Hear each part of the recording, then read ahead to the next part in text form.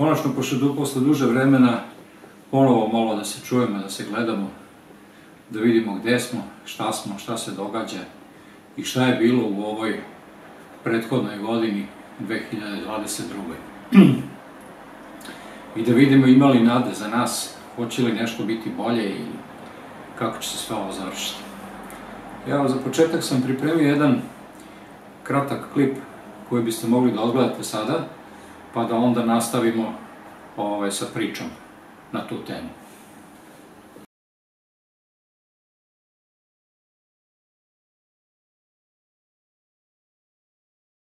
we are so far, globally, we are so far above the population and the consumption levels which can be supported by this planet that I know in one way or another it's going to come back down. So I don't hope to avoid that.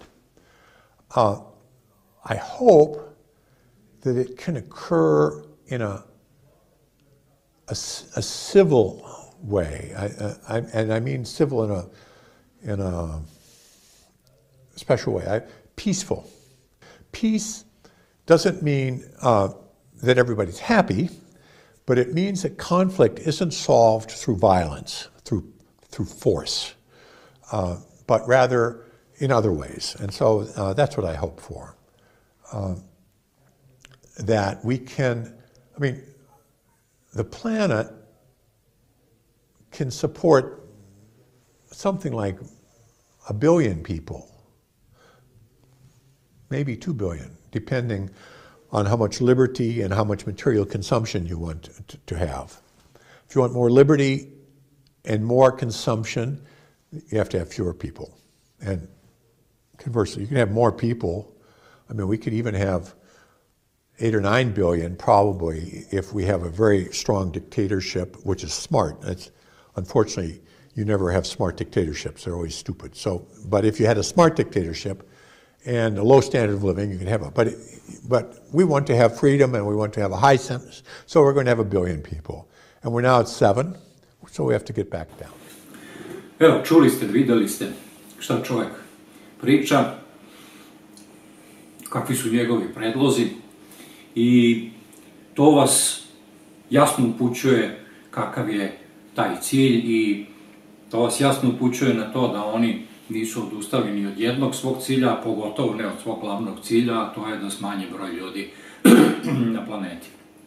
Znači, nije to ideja od juče, ta ideja postoji jako dugo, znači od kad je smišljena eugenika, ovaj, pa nadalje, stalno su se trudili da na neki način, samo što su ovaj, ranije to selektivno radili, znači određene grupacije, narode i tako dalje su ovaj, uništavali, Sad jednostavno im više nije briga, nije ih više briga koga će ubiti, jednostavno, kako on kaže to, ja bih voleo da se to desi na jedan mirni način, čak ne kaže civilizovano, jer on shvata da civilizovano ovaj, podrazumeva ne ubi. A ovde se jasno govori o tome da treba se osloboditi nekog broja ljudi, ali da to bude mirno. Na koji način mirno? mirno u smislu bez nasilja, bez e, vojske, policije, bez pucanja, bez prolivanja krvi. Jednostavno, oni to već sve sprovode. Znači, oni taj svoj plan sprovode već 300 i više od 300 godina. Znate, kad je osnovala ta prokleta, ovaj, e, kako se zove, britanska ta kraljevina, a, a to je bilo negde, čini mi se, da li 1704. 1706 čak 100 godina pre toga je u Indiji ovaj, se pojavila ta britanska kompanija, British East India Company, koja je krenula da uzgaja opijum, a vi znate da je tada u to vreme i Pakistan ceo i Bangladeš, da je sve to bila Indija i Šri Lanka, tadašnji Ceylon. Znači sve to bila Indija i oni su imali nepregledna polja maka i oni su uzgajali taj opijum i taj opijum prodavali kineskim seljacima. Znači, oni su tu već krenuli da stvaraju naciju narkomana. Zašto? Zato što trebalo je Kineze kao glavne svoje konkurente u tom delu sveta, trebalo je njih neutralisati. I to su uradili na najbolji mogući način, tako da su od njih stvorili gomilu narkomana. Znate, to su im posle vidite kako kinezi nikad ne zaboravljaju. Oni su to posle, kad je bio vjetnamski rat, kad je u toku, oni su um, svoji, njih, preko svojih agenata, svojih ljudi u Saigonu, oni su potpuno besplatno delili heroin američkim vojnicima. I tako da su Amerikanci dobili, dobili par stotine, hilja, par stotina hiljada narkomana, koji su, kad su se vratili posle rata, oni koji su preživeli, a, kad su se vratili u Sjedinjene države, postali ogroman socijalni problem. E, znači, hoću vam reći da to ne datira od juče. A cela postavka je u stvari napravljena a, tamo negde sredinom 70-ih godina kroz taj a, Global 2000 ili Global Report koji je pravljen za Jimmya Cartera. Znači, to je ta ekipa oko, oko Žežinskog napravila taj izveštaj u formi jedne knjižice. Sad ne znam da li biste mogli da nađete taj izvorni tekst na netu, ali ja ga imam u svakom slučaju sačuvanog. I tu se prvi put pominje ta čuvena, čuvena formulacija koju sad svi ponavljaju useless eaters, znači beskorisni izjelice. Tako da oni kažu milijarda ljudi, to je to, to je krov. Ne treba više, ne možemo više. Znači ne može zemlja više da izdrži. Pa čekajte, ljudi moji, kako ne može zemlja više da izdrži, ako je zemlja pre 200 godina imala više od milijardu ljudi? Ili ne znam kad je prešla prvu milijardu, ali ovaj, znači, od tada stanovništvo na zemlji se non stop uvećava. Nisu pomogla ni dva velika rata. Znate, pa ste, a, a, o, tokom Prvog svetskog rata broj poginulih je bio nešto, čini mi se, 15 miliona, nešto oko 15 miliona. A opet, a, tifus, pa onda a, grip, onaj španska groznica koji se pojavili već pred kraj prvog rata i zapravo tifus je bio sve vreme prvog svetskog rata ovaj, prisutan, a ova španska groznica je tek došla negde u proleće 1918. to je ubilo 50 miliona ljudi, znači tri puta više i više od tri puta više nego što je ubio sam rat. onda su oni rekli, dobro, nismo to dobro postavili, ajmo sada da napravimo, da razradimo malo tu priču, pa 1921. godine oni u Londonu osnivaju taj čuveni Tavistok institut, o kojem se opet u zadnje vreme puno priča, a jako dugo sam ja o tome govorio, ali nikome nije slušao, a, koji je počeo da vrši eksperimente pre svega na, ovaj, a, na, na, na živim ljudima, jeli, i usmerene na to a, da se dođe do, do tog nivoa da mogu a, nekim, a, kako ovaj Čika kaže, nekim mekim metodama da kontrolišu čovečanstvo, odnosno da kontrolišu um ljudi. Da mogu da naprave jednu vojsku ljudi koji će biti, a, kako da se to kaže u, u, u ovim obaveštajnim krugovima, spavači. Ali ne svesni spavači, oni jednostavno treba da budu, i to upravo radio posle kad je se Tavistok preselio sa svojim aktivnostima na Stanfordu u Sjedinje američke države, to je radio taj projekat MK Ultra.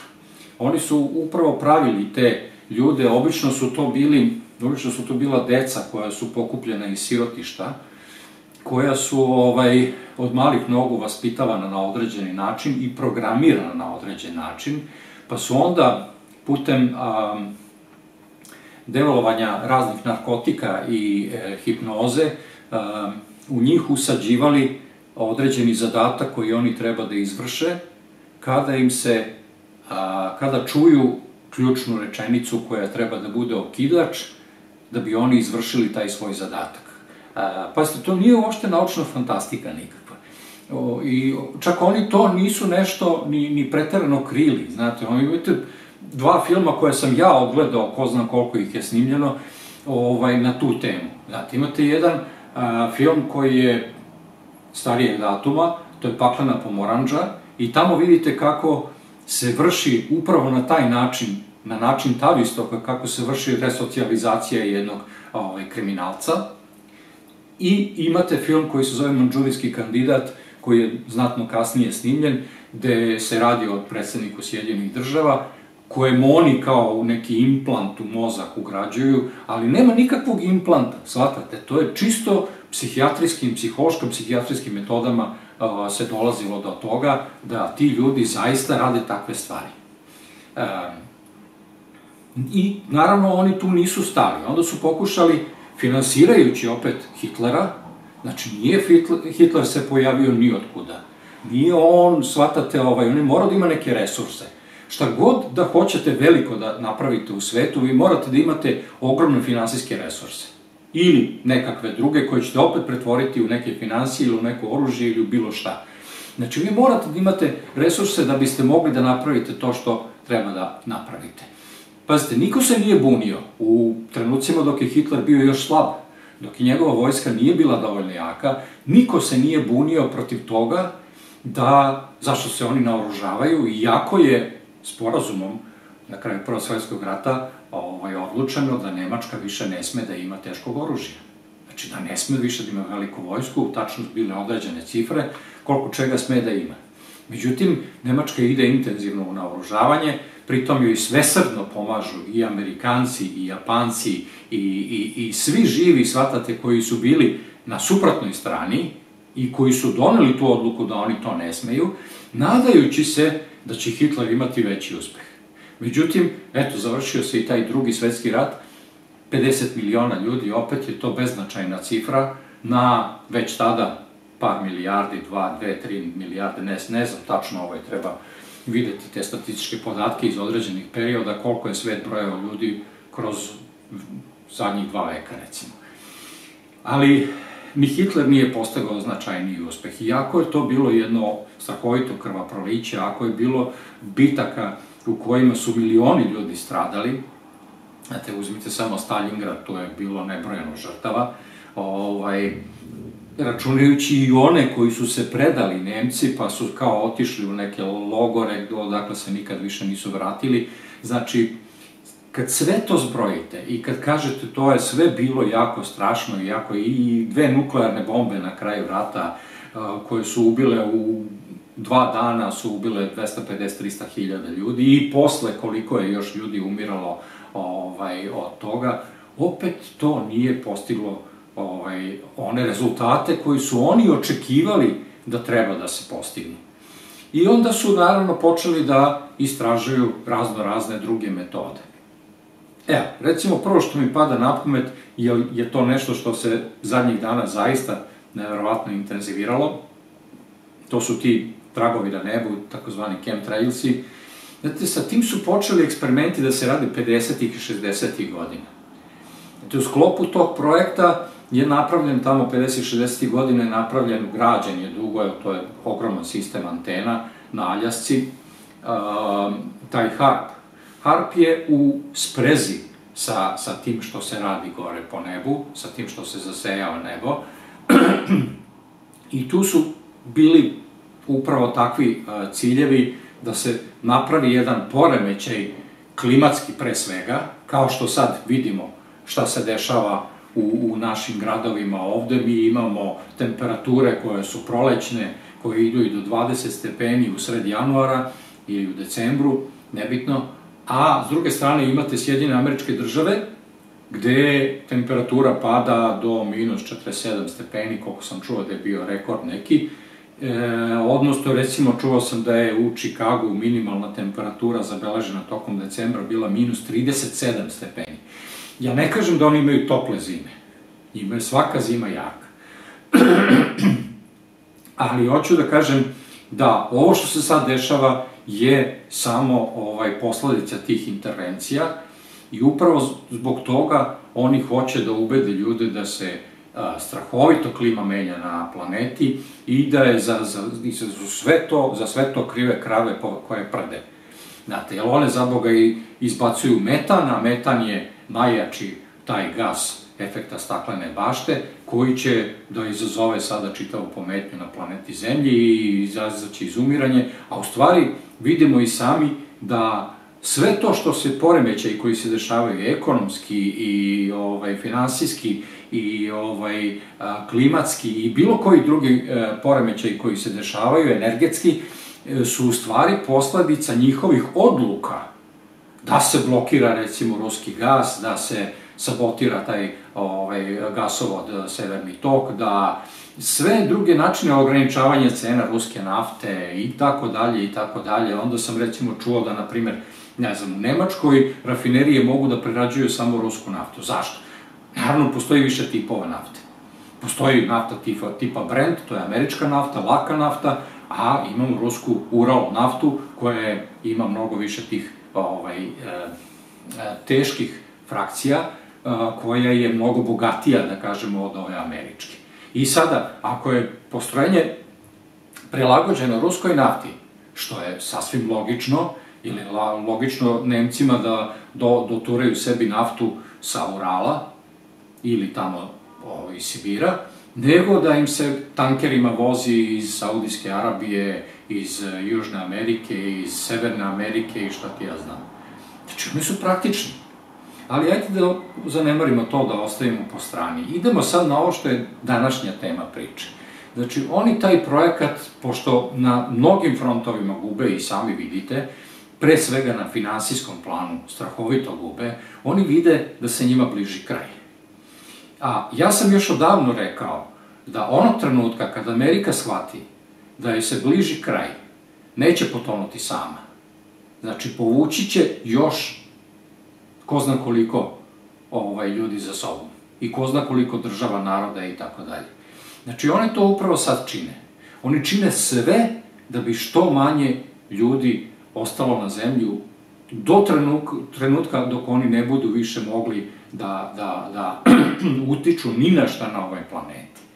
Pre neki dan sam čitao u nekim novinama, kaže, Japan je objavio da e, prekida servisiranje američkog duga. Japan je najveći poverioc Sjedinih država. znači, Sjedine države najviše duguju Japanu. A Japan je rekao, ne, mi to više nećemo. Snalazite se sami.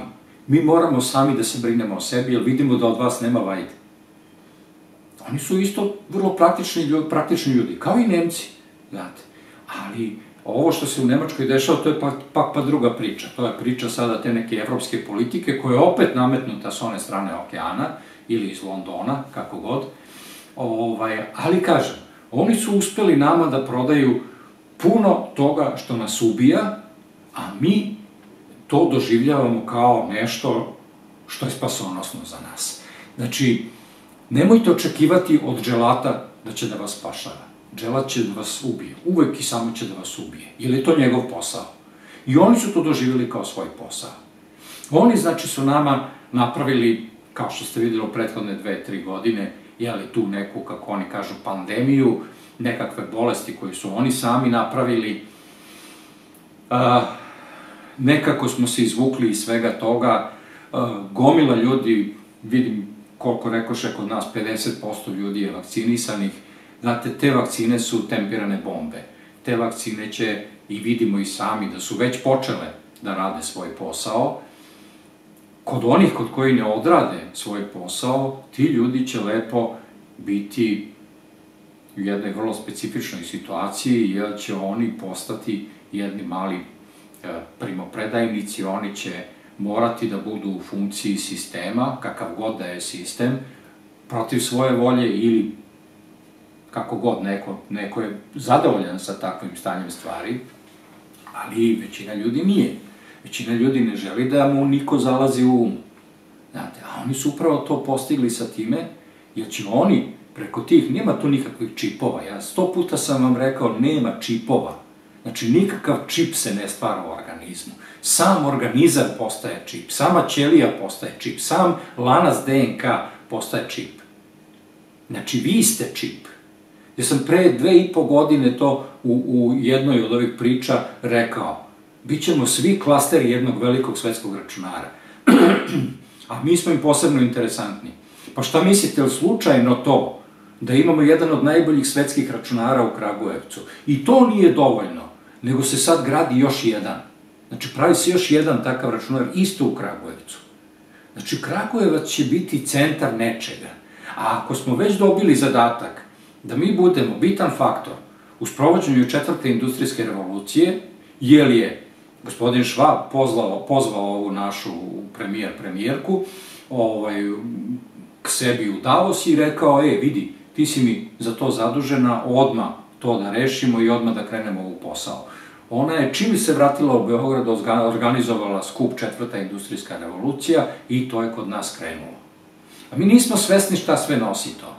Kao što sam rekao, opet kažem, pre dve i po godine, u istim ovim pričama mojim, sam rekao da 5G mreža nije tolika opasnost zbog svog e, elektromagnetskog zračenja, mada koliko je 4G opasnost, toliko i 5G opasnost, nikakve razlike nema. Radari su isto rade na istim frekvencijama, tad sam to pričao i pokazivao čak ispitivanja koje su rađene na tu temu.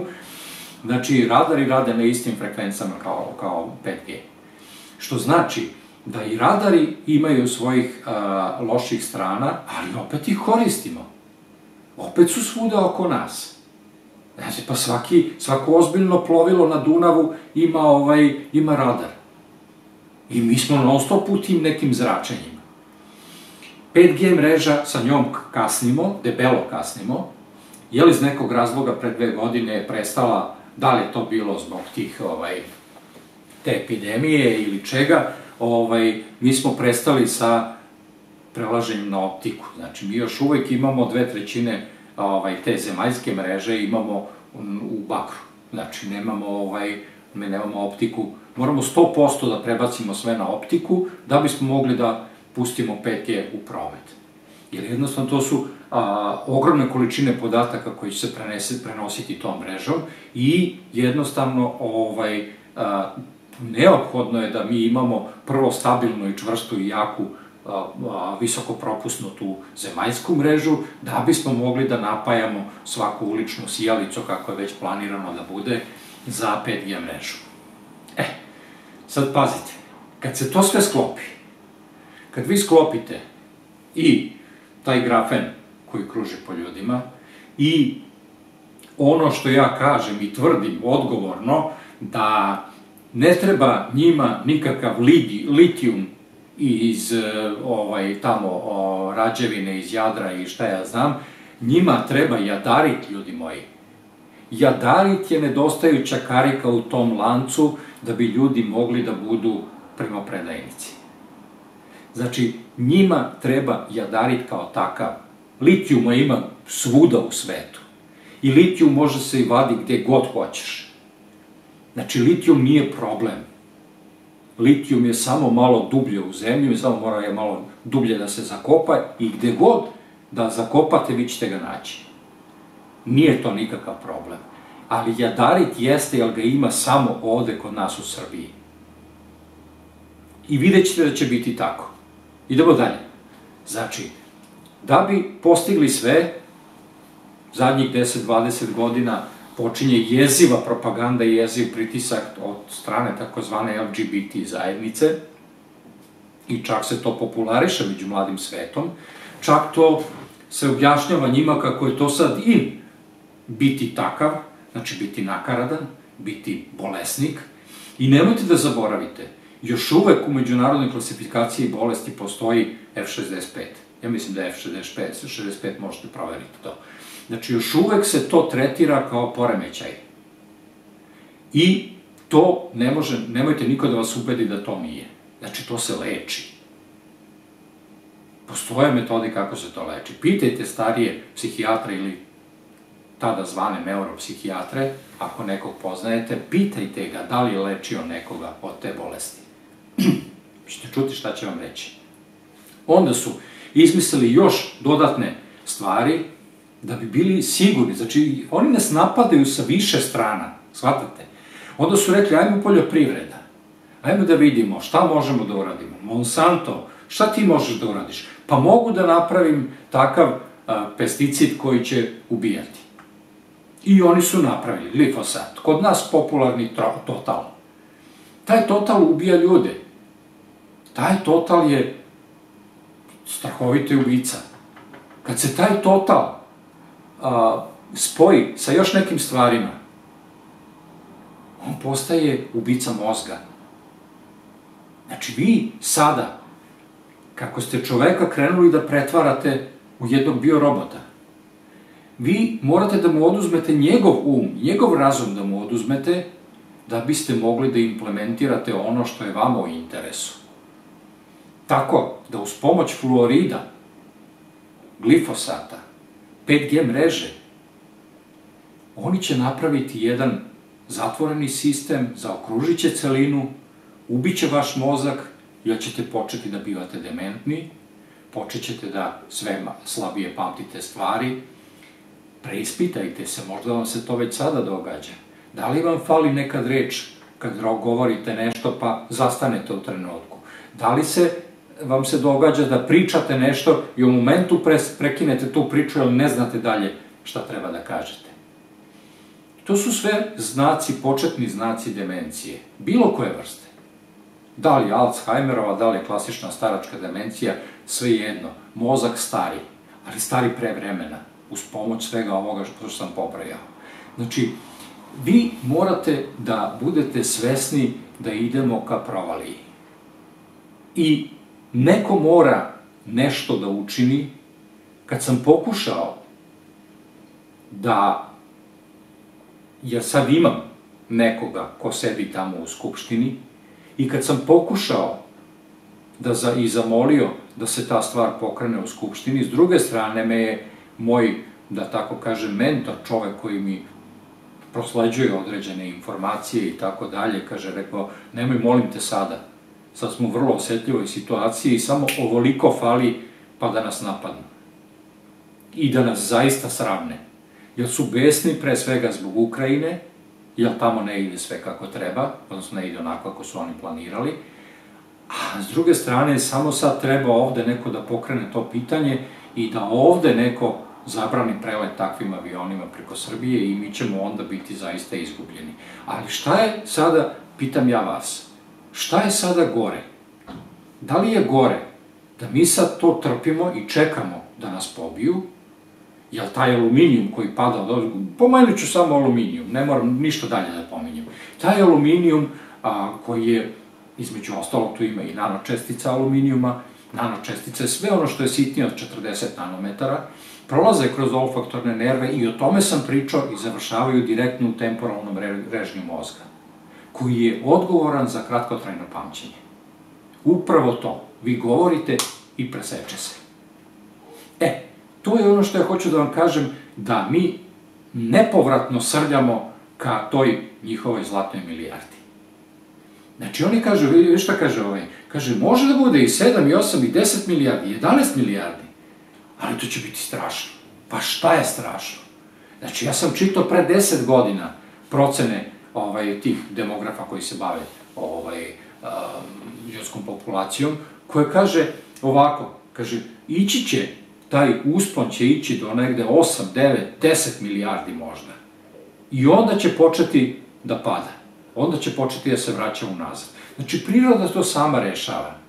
Oni nas pokušavaju da ubede da mi imamo višak ugljen dioksida i da je zbog toga sve ovo što se događa. Za zbog toga mi danas imamo temperaturu u Novom Sadu 17 stepeni, u Beogradu ne znam kolika je, obično Beograd bude malo topliji, ali hoću vam reći da je sve to namešteno, sve je to montirano. Ništa od toga nije istina. Kakav ugljen dioksid? Pa ja kad sam u školi bio, pre 45 godina su me učili da u atmosferi ima 78% azota, 21% kiselnika, 1% ugljen dioksida i ostalih gasova. Kakva je situacija danas? Za razliku od onda, danas imamo 78% azota, 21% kiselnika i 1% ugljen dioksida i ostalih gasova. Pa gde je taj višak ugljen dioksida? Gde se on nalazi? U čemu? Višak ugljen dioksida može samo da znači bujanje prirode, bujanje zelenila. A ja to ne primećujem. Znači, opet sam malo pao u vatru, ali nema veze, nismo se dugo videli, pa vjerojatno se nakupilo malo, akumulacija je ono krenula da radi. Ovo je suština onoga što sam hteo večeras da vam ispričam, ali ćemo se još baviti time, jer nisam ni pola rekao od onoga što sam hteo da kažem. Vreme polako ističe, vi znate da ja ne volim duže od pola sata da pričam, jer toliko mogu da vam držim pažnju, ali kažem, ovaj, ovo smo načeli ovu temu i ubrzo ćemo se ponovo čuti, obećavam vam, a, možda već sutra snimim a, nastavak ove priče, a možda i snimim nešto drugo, pa ću nastavak ove priče možda za vikend da snimim. Budite mi dobro, držite se zajedno i ne dajte se da vas lažu, jer vas lažu mnogo. Hvala vam na pažnji i obećavam da ćemo se sad češće viđati. Thank you.